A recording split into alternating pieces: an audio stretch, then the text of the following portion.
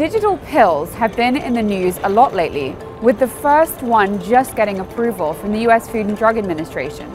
But what are they and how are they different from, say, smart drugs or digital therapeutics? The first digital pill is just like an established medication, in this case an antipsychotic, but with one tiny difference. It includes an ingestible sensor that communicates with a smartphone. Once the pill is swallowed and connected to that smartphone app, the patient can choose to share their data with a, with a doctor, a family member, a caregiver. And the idea is that if these people have an insight into whether they're taking their meds correctly, people won't abuse them or neglect them. So that's a digital pill. Other terms you might have heard are smart drugs or digital therapeutics. These are totally different. Smart drugs are often used to describe supplements or nootropics that contain a blend of commonly used ingredients like caffeine and claim to enhance mood or brain function.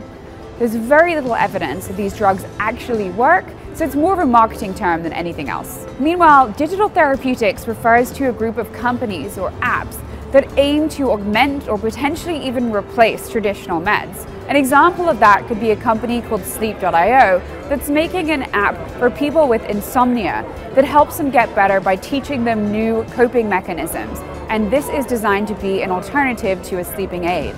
Some people find these new methods to be controversial, potentially biomedicine's version of a big brother, but others describe it as the future of medicine. Tell us what you think. Let me know at Chrissy Farr on Twitter. Hey there, thanks for checking out CNBC on YouTube. Be sure to subscribe to stay up to date on all of the day's biggest stories. You can also click on any of the videos around me to watch the latest from CNBC. Thanks for watching.